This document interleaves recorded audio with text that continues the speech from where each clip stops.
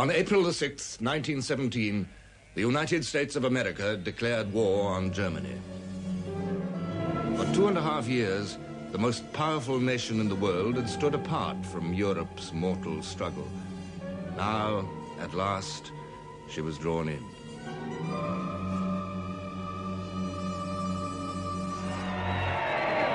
Many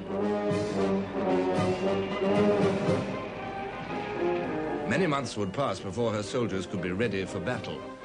But to the war-weary Allies, she brought a new vision of victory.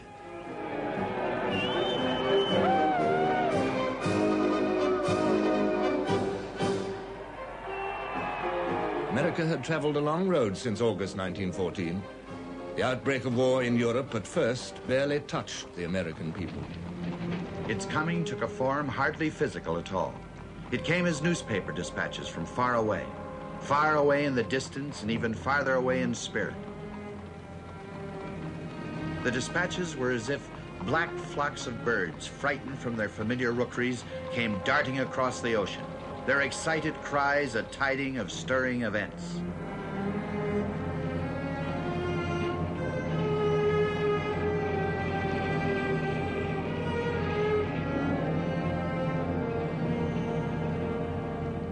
In 1914, Europe's quarrels seemed to be no concern of Americans. They were a nation born out of the need to become and remain separate from Europe. George Washington had expressed their creed. Why quit our own to stand upon foreign ground? Why, by interweaving our destiny with that of any part of Europe, entangle our peace and prosperity in the toils of European ambition, rivalship, interest, humor, or caprice.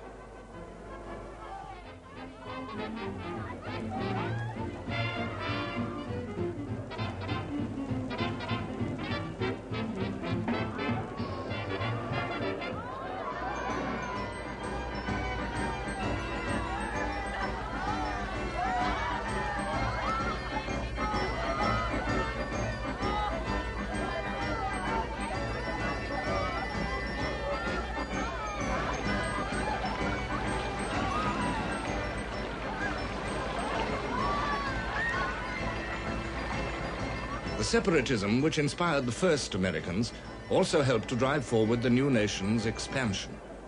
In the 19th century, millions of personal decisions by Europeans to break away from the fetters of the old world brought a swift increase of population to America. Every immigrant fought his private war of independence when he took the decision to uproot himself from the land of his birth and cross the Atlantic.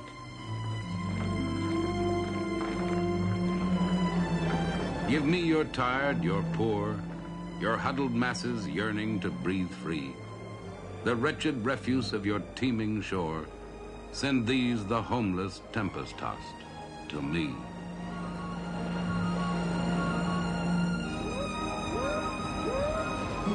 These Americans wanted no part of Europe. It was a new world that they were seeking. They found the fruits of isolationism sweet. They acquired greater wealth and material power than the world had ever known. In America, men could make vast personal fortunes with astounding speed. Andrew Carnegie, when he retired, gave away $350 million. America was the land of promise. Poor men could grow rich almost overnight.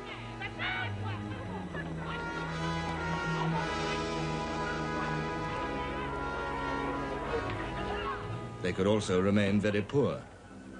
In the Dust Bowl, in the spreading factories of Detroit or Baton Rouge or Chicago, in the swelling cities with their slums which matched the slums of Europe, there was squalor, misery, bitterness. For many immigrants and their sons, it was a poor exchange to escape servitude to Europe's hereditary princes, only to find servitude to Wall Street's tycoons.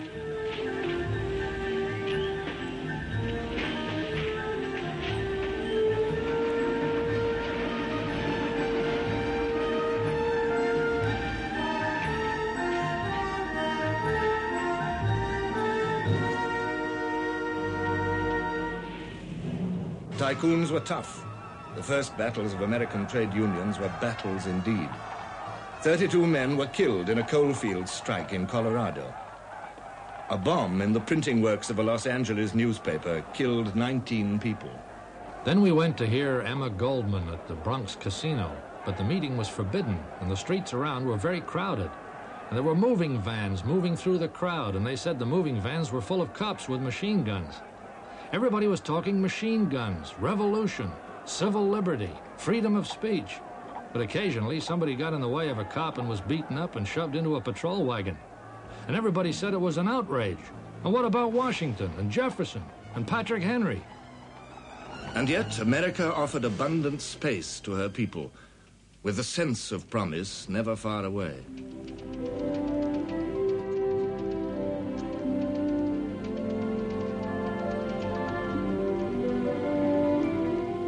By the turn of the century, the frontier, the legendary luring frontier of the West, had vanished. From the Atlantic to the Pacific, the nation was one.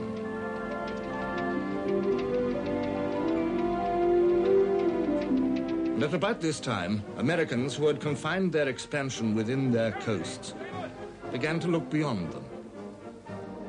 While Britain was fighting her war in South Africa, America fought Spain and became a surprised imperialist. She freed Cuba, but she acquired the rich Philippine Islands and Hawaii. The spokesman of this extrovert American mood was Theodore Roosevelt, twice Republican president. Our nation, while first of all seeing to its own domestic well being, must not shrink from playing its part among the great nations without. Speak softly and carry a big stick. Roosevelt's bounding personal vitality matched that of a nation whose pioneer days were barely finished, which recognized no challenge which the human muscle and spirit could not overcome.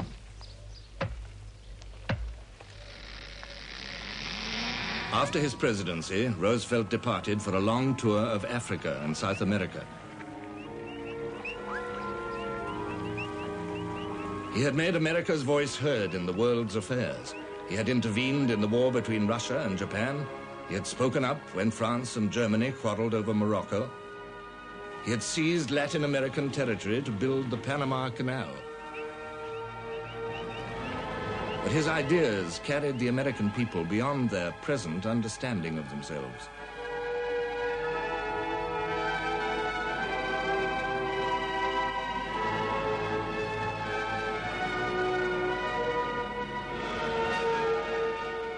In 1914, after 20 years out of office, the Democrats swept back to power on the rallying cry of reform.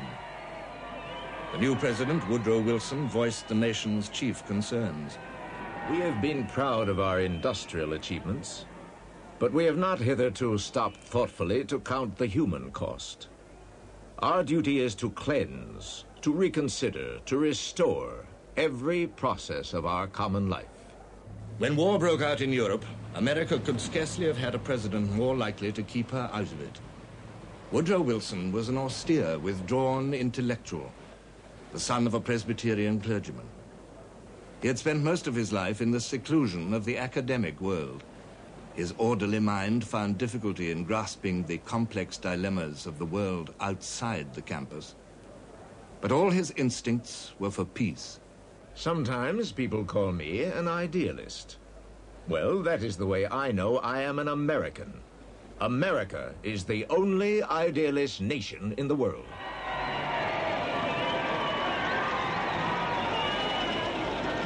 The idealism of the American people was often confused and colored with the boastfulness of a young and thriving country. Any intelligent American mechanic could see that if the Europeans hadn't been a lot of ignorant, underpaid foreigners who drank, smoked, were loose about women, and wasteful in their methods of production, the war could never have happened. Most Americans were well satisfied when Wilson stated the nation's posture towards Europe's war. We must be impartial in thought as well as in action, must put a curb upon our sentiments, as well as upon every transaction that might be construed as a preference of one party to the struggle before another.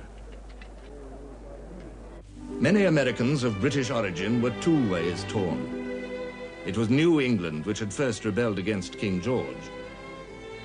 The memory of rebellion, long distrust of British policy, some irritation at the sight of the Union Jack in Canada just over the border, conflicted with an instinctive condemnation of German aggression.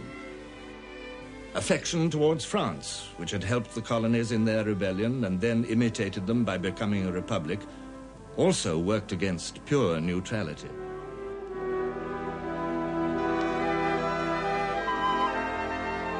But there were 15 million vocal Irish Americans whose forebears had been forced to emigrate by hunger and poverty, for which they could not easily forgive their English oppressors.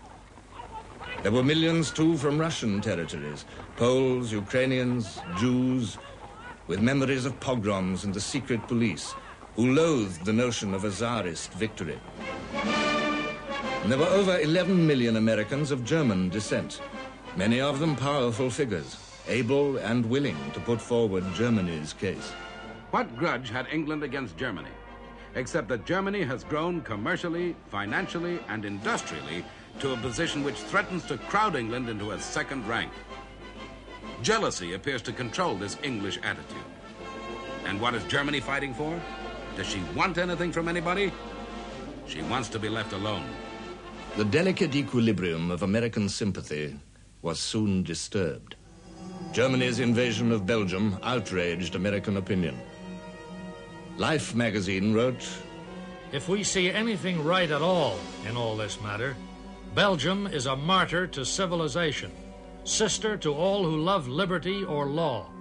The great unconquerable fact of the Great War is Belgium. Strict impartiality was easier to proclaim than to preserve. As the impact of war sank in, invasion, destruction, atrocity, authentic or not, American opinion swayed upon a deep underwater tide.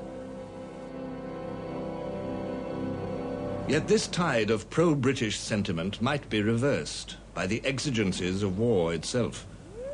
The exercise of British sea power had always grated upon America. Now Britain's blockade of Germany meant the interception and searching of American ships, the seizure of contraband cargoes. A flood of protests poured into the White House.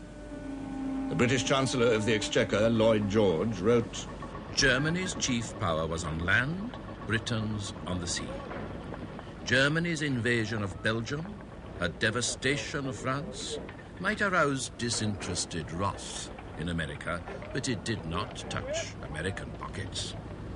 On the other hand, Britain's firm measures to prevent contraband of war from reaching Germany and her wide and constantly widening interpretation of contraband caused serious inconvenience to American shipping and direct interference with American business.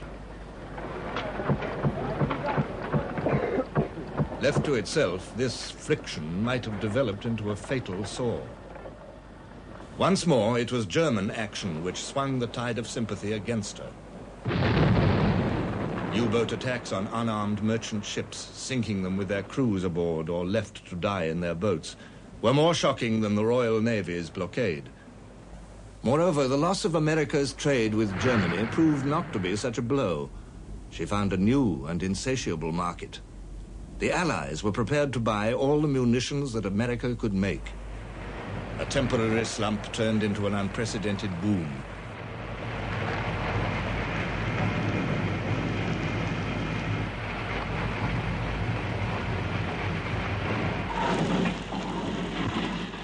Righteous sentiment and self-interest might go hand in hand after all. An ideal circumstance for judicious propaganda. In the field of propaganda, the Allies enjoyed a vast advantage. At the outbreak of war, the Royal Navy had ripped up the German transatlantic cables from the ocean bed. Only the Allies now possessed direct access to America's public ear. As the months went by, the Allied version of events loomed ever larger in the American press. Gradually, the true meaning of neutrality was eroded. Yet for a while, its outward forms remained. And in May 1915, there were great issues at home to distract American minds from Europe's war. Prohibition was one of them, a cause which stepped into every home. Already 14 states had gone dry, and a nationwide campaign was demanding the total prohibition of the sale of alcohol. There were dissenters.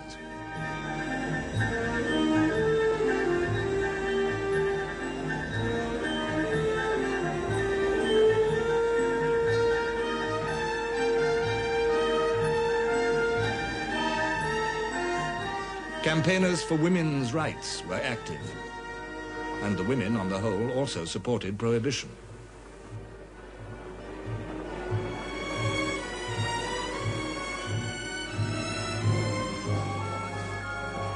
In May, the fastest British liner afloat, the Lusitania, was leaving New York Harbor for Liverpool. Aboard were 2,000 passengers and crew, and 5,000 crates of ammunition for the Allies. The day before the Lusitania sailed, the German embassy in Washington published an announcement in the American press. This warned that Allied ships, including passenger liners, were liable to be sunk by U-boats. It meant that the Lusitania's passengers traveled at their own risk, but few of them paid much attention. On May the 7th, Commander Schwieger's U-20 was waiting for her. She fired two torpedoes. Her commander noted in his log, Great confusion on board. Lifeboats being cleared and lowered to water. Many boats crowded. Come down bow first or stern first in the water and immediately fill and sink. 1,153 people went down with the Lusitania. They included 114 American citizens. Some of the Lusitania's dead were brought to Ireland for burial. The American press blazed with indignation. Germany has affronted the moral sense of the world and sacrificed her standing among the nations.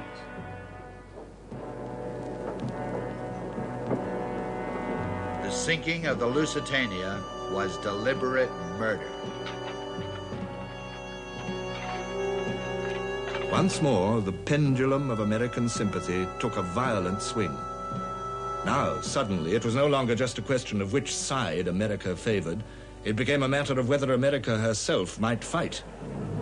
Theodore Roosevelt said, This represents not merely piracy, but piracy on a vaster scale of murder than old-time pirates ever practiced. It is warfare against innocent men, women, and children traveling on the ocean, and our own fellow countrymen and countrywomen who are among the sufferers.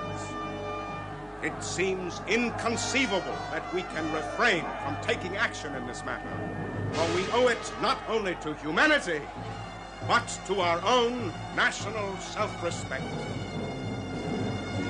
Amid all the passion, President Wilson kept his head. The principles of a lifetime sustained him. The example of America must be the example not merely of peace because it will not fight, but of peace because peace is the healing and elevating influence of the world, and strife is not. There is such a thing as being too proud to fight. Proud, certainly. Rich, too. America was now the arsenal of the Allied powers. Her booming prosperity was closely linked to their fortunes. If U-boats could not check the flow of vital war material from America to Europe, Germany must try other ways. She turned to sabotage.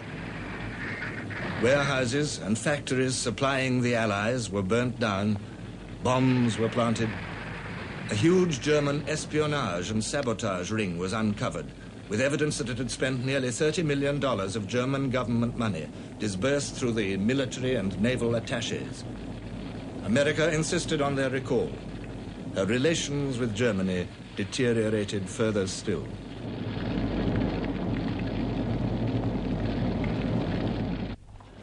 Yet the months went by without any definite consequence of America's ripening hostility towards the Central Powers. The anniversary of the Lusitania's sinking approached. It was April 1916. Suddenly, once more, the pendulum took a counterswing. From Dublin came news of the Easter Rebellion in Ireland and of its swift suppression by British forces. The execution of captured rebels spread over 10 days infuriated millions of Irish Americans and revived their ancient hatred. The British ambassador in Washington reported The attitude towards England has been changed for the worse. Our cause for the present among the Irish here is a lost one. In America, 1916 was an election year. The war was the dominant issue. The election campaigns of the parties crystallized the sway of opinion. Neutralism, the profound wish to stay out of the war, still possessed a doughty champion in the president. Support for Wilson's policy was strong in the Middle West and Pacific states. Europe's war seemed more remote there than on the Atlantic seaboard. At the Democratic Convention, Wilson was renominated presidential candidate. The chairman opened his speech with a text from the Sermon on the Mount. Blessed are the peacemakers, for they shall be called the children of God. He was applauded to the echo. Up and down the United States, Wilson fought his campaign on the slogan, He kept us out of the war. The Republican candidate against Wilson was Charles Hughes, strongly backed by Theodore Roosevelt. Their policy was preparedness. They wanted a bigger army, universal military training, more aggressive American leadership. Roosevelt taunted Wilson with the shadows of men, women, and children who have risen from the ooze of the ocean. The shadows of babies gaping pitifully as they sank under the waves. The shadows of deeds that were never done. The shadows of lofty words that were followed by no action. The shadows of the tortured dead. Woodrow Wilson was re-elected, but his majority fell sharply. The portents were becoming unmistakable. Yet Wilson clung to his ideal of peace. There will be no war. This country does not intend to become involved in war. It would be a crime against civilization for us to go into it. Once again, it was Germany's own acts which swung the balance against her. On January the 31st, 1917, Germany informed America of her intention to carry out unrestricted submarine warfare. This meant that all shipping, including neutrals, whether carrying contraband or not, would be sunk at sight without warning anywhere in Allied waters. Stage by stage, President Wilson's campus ideals were being battered down by war reality. Stage by stage, he resisted the evidence and its implications. I refuse to believe that it is the intention of the German authorities to do in fact what they have warned us they will feel at liberty to do. Only actual overt acts on their part can make me believe it even now. Wilson was forced to believe. As vessel after vessel went down, Germany's ruthless determination became evident. The German ambassador in Washington was handed his passport. America broke off diplomatic relations and drafted a bill to arm her merchant ships. Now she stood on the very brink of war. The last act needed to drag her in was not slow in coming. In 1917, four-fifths of America's small army was embroiled with Mexico. Relations between the United States and her Latin neighbor had never been easy. The border along the Rio Grande was rarely quiet. Mexico's successive revolutions alarmed America, threatened her commercial interests, even the lives of her citizens. To Germany, this distant preoccupation was a godsend. If the American army was kept busy in Mexico, it could hardly come to Europe. Germany proposed an alliance to the Mexican government. Germany makes Mexico a proposal of alliance on the following basis make war together, make peace together, generous financial support, and an understanding on our part that Mexico is to reconquer the lost territory in Texas, New Mexico, and Arizona. We suggest Mexico should invite Japan's immediate assistance and mediate between Japan and ourselves. This was the secret Zimmerman telegram, one of history's most explosive documents. British naval intelligence had broken the German codes and selected its moment carefully to inform America of the contents of the telegram. They came as a thunderclap. This was a conspiracy to attack the very homeland of the United States. Isolationism withered away. The peace party collapsed. The fire eaters rose in their wrath, headed by Theodore Roosevelt, uttering a characteristic bellow of rage. This man, Wilson, is enough to make the saints and the angels, yes, and the apostles swear, and I would not blame them. My God, why doesn't he do something? If he does not go to war with Germany, I shall skin him alive. This was the end of the president's dream of peace. While he took his last agonizing decisions, Germany, for the last time, fortified his resolve by torpedoing three American merchant ships in one day.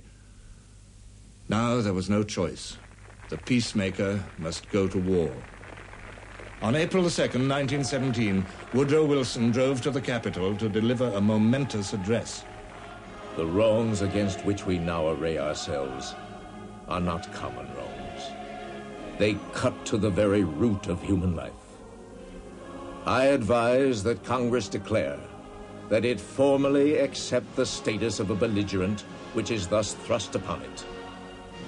It is a fearful thing to lead this great, peaceful people into war, into the most terrible and disastrous of all wars, civilization itself seeming to be in the balance. But the right is more precious than peace. The world must be made safe for democracy.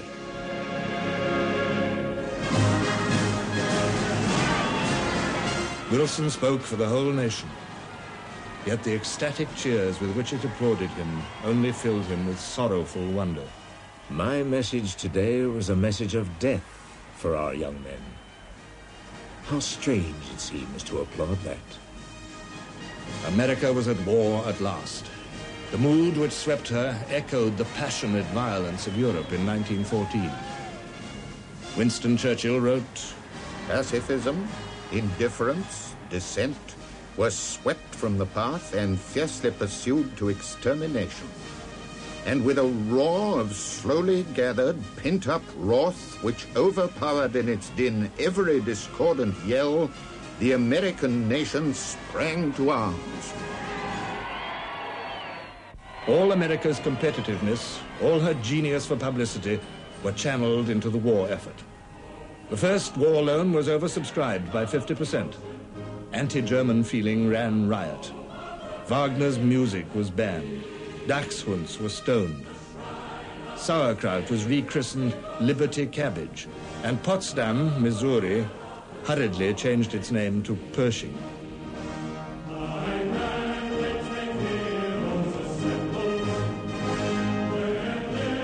Newspapers, magazines, and posters provided constant fuel for the nation's passion. Even in a prayer before the House of Representatives, Germany was remembered. Thou knowest, O Lord, that no nation so infamous, vile, greedy, sensuous, bloodthirsty ever disgraced the pages of history. All over the country, young men swarmed into recruiting centers. But with memories of the breakdown of volunteering in the Civil War, the government rushed through a conscription bill. Every male between 21 and 30 had to register for military service. Only 4% of the 10 million available failed to do so. 680,000 were selected by ballot for the first draft, the most America could possibly equip and train at once.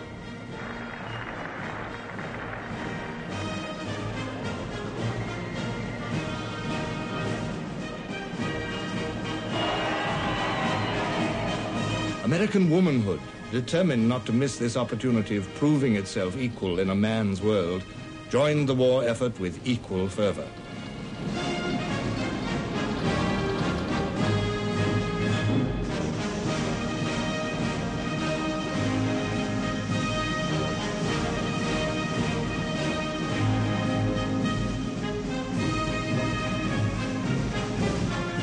Task which faced America was tremendous. President Wilson said, It is not an army that we must shape and train for war. It is a nation. American industry was heavily committed to supplying the Allies. Now the Secretary for War needed it to arm and supply her own soldiers. War is no longer Samson with his shield and spear and sword, and David with his sling. It is the conflict of smokestacks now, the combat of the driving wheel and engine. The government called in the great business tycoons. Bernard Baruch was placed in charge of coordinating all the nation's resources. All private shipping was commandeered, and new shipyards were built for the enormous task of transporting and supplying an army across 3,000 miles of ocean.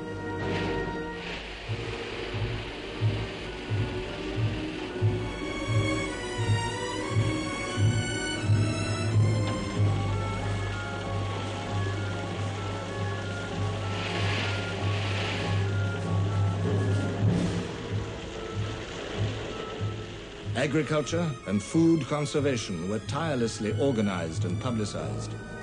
Life magazine urged its readers Do not permit your child to take a bite or two from an apple and throw the rest away. Nowadays, even children must be taught to be patriotic to the core. Like Britain in 1914, America was a naval power with only a small regular army. Immediately, she placed her fleet at the disposal of the Allies.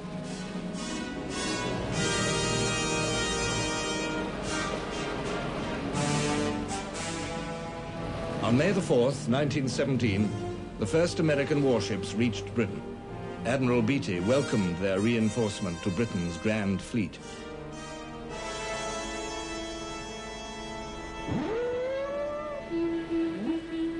But it was the American army, the influx of her inexhaustible manhood, that Europe was waiting for. It was hard for the Allies to grasp the problems that faced the newly embattled giant. The strength of America's army when she entered the war was only 80,000 men, and most of them were on the Mexican border. To turn this tiny force into a trained army of hundreds of thousands, perhaps millions, was a stupendous task. Huge camps were built at breakneck speed, and men began training in them almost at once. The peaceful nation adapted itself to war with a speed and efficiency which the president had grimly prophesied. Once lead this people into war, and they'll forget there was ever such a thing as tolerance. And the spirit of ruthless brutality will enter into the very fiber of our national life. Conflicts arose between America and her allies. There was conflict between America's need for munitions and Allied needs. There was conflict between the demand of the Allies for immediate reinforcements and America's determination to build a great national army, as befitted her station among the powers.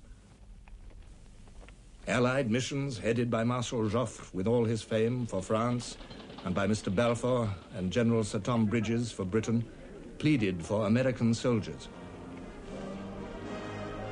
The Allies would have to wait for America was irrevocably determined upon her course. The Yanks were coming, but they would come as a United States army, with a United States general, General Joseph Pershing. They would come in the fullness of time, and not before. Until then, the Allies must make shift to do without them. But for encouragement, as a token of what would follow, a handful of Americans, headed by Pershing, came to Europe to show the flag. They disembarked at Liverpool to a hero's welcome. As we stepped off the gangplank onto British soil, the band struck up the Star Spangled Banner to welcome us. This being the first time in history that an American Army contingent was ever officially received in England.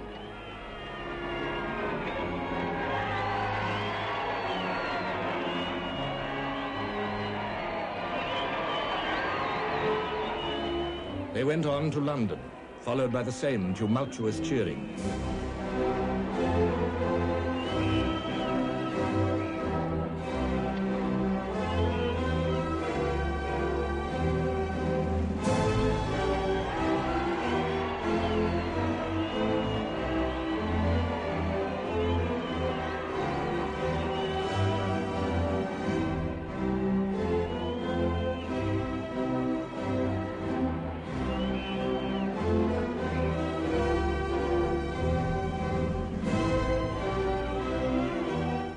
Was greeted by the king. It has always been my dream that the two English-speaking nations should someday be united in a great cause. And today, my dream is realized. Together, we are fighting for the greatest cause for which peoples could fight.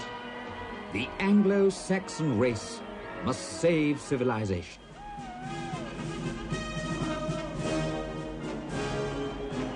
The triumphal progress continued into France.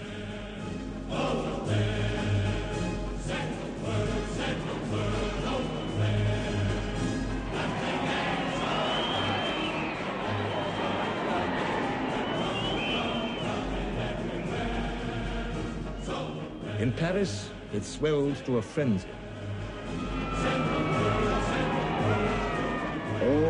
Felt that they were present at the magical operation of the transfusion of blood. Life arrived in floods to reanimate the mangled body of a France bled white by the innumerable wounds of four years.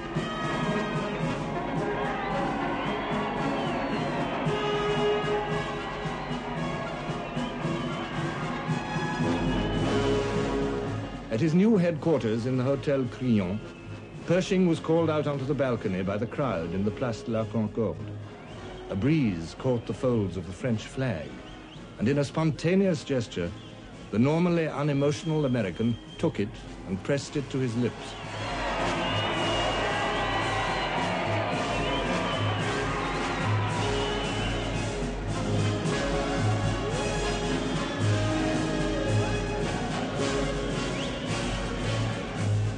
Conquering army could have had a more rapturous welcome from its own people than France gave to this handful of inexperienced, untried, but vigorous and cheerful American soldiers.